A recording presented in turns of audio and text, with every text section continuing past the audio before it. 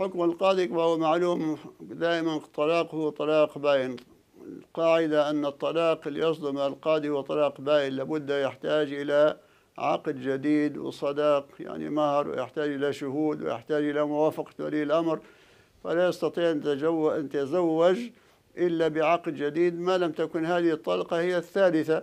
فإذا كانت هي الثالثة فلا يجوز له إلا بعد أن تتزوج المرأة زوجا آخر آه، تنكحه ثم يطلقها ويتوفى عنها فعندها يجوز له أن يرجعها. لكن طلاق القاضي هو طلاق بائن لا يجوز إلا بعقد جديد.